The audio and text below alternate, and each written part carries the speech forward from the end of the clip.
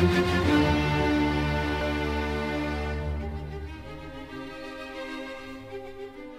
at Manalapan High School, I learned that people can be very diverse, like everyone's creativity is different, so it's nice to see what everyone else has in their head that they can bring out onto the canvas. Favorite art class was definitely Mr. O'Brien's class, because he really lets us do whatever we want. My favorite type of art is fine art, because I just mainly like working with like pens, pencils, and I also like applied art because you get to work with your hands, you get to make things like 3D, and that's what I like. I'm actually going to the Art Institute of Fort Lauderdale in Florida. When I graduate from college, I either want to go into being a tattoo artist or some type of illustration for magazines. I feel Mr. O'Brien and Ms. Kurt and all the other art teachers did a very good job at teaching us not to be afraid of art, to do whatever we want, to be confident. First level students, we have Fine Art 1 and Applied Art 1. Uh, they're good entry level courses for students who maybe haven't, haven't done art in a while or really haven't done it at all. Fine Art 1 is painting, drawing, uh, a little bit of 3D, 3D work. Uh, the difference, Applied Art, is more sculptural. We use we do ceramics, uh, we do some fiber arts like paper mache, and we also do metalworking. So you get, as the first level, you get to try each one and see what you like more, then you can move on from there. Throughout um, my art classes that I've taken at Manalapan High School, I've learned that everybody has their own vision and that when one person looks at one object, they can see something entirely different than you are, but it still is amazing. I got accepted into FIT and I'm going for fine arts. Eventually, I want to publish a book.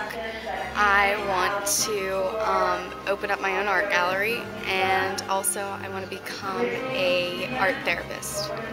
Our upper level classes, Art 3 is a full year uh, class, uh, mostly uh, very serious students. Art 4, and we also have uh, AP classes as well. Uh, AP, Art 4 is honors, most of our students pursue art to some degree. Uh, they will go on art school, college, or it might even be for uh, self-enrichment. Um, we have had students that have left Manalapan that have pursued uh, careers as a designer, as an artist, um, as a craftsperson. Okay, in Manalapan High School, my favorite class was fine art because I stayed in fine art for four years. Mr. Brian was always my teacher. I learned basically to just uh, do your thing, I guess. Um, just stay true to yourself and just um, work hard at what you do. I was accepted to Parsons New School for Design in the city.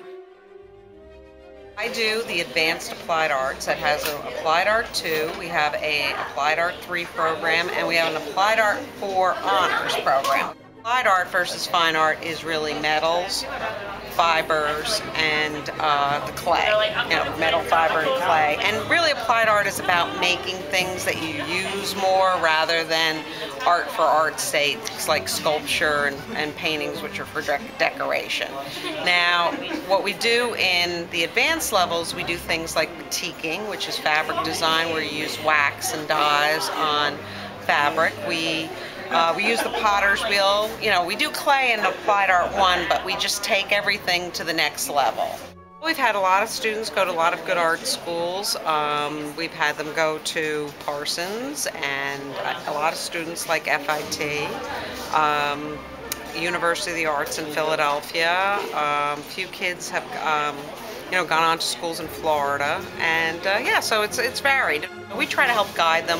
We definitely do a lot of the portfolio. Mr. O'Brien and myself usually work with those upper level students to develop a portfolio.